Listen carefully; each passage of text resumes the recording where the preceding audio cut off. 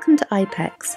This video introduces the iPECS approved Athena HSD1 headset and will guide you through the setup of your headset using the iPECS 1050i handset. Before we proceed, please ensure you do not switch on your headset until instructed.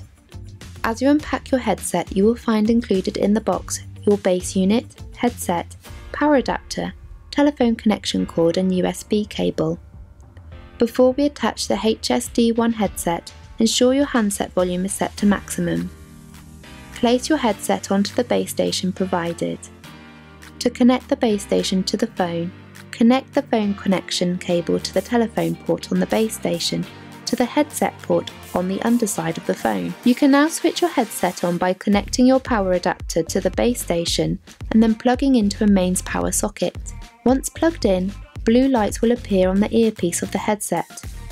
You should now make a test call using your headset. Press the headset button on the handset and select compatibility switch position 1 or 2 on your base station until you can hear the dial tone.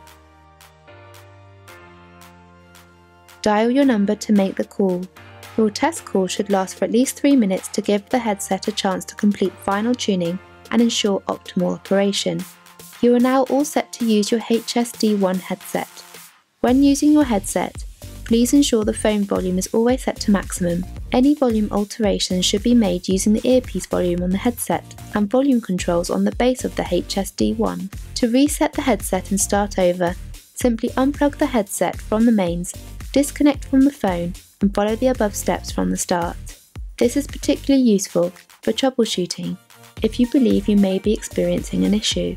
We always encourage customers to try and ensure that their telephony system and phones are up to date with the latest software and firmware to help ensure the correct operation of all devices, including the HSD1 headset.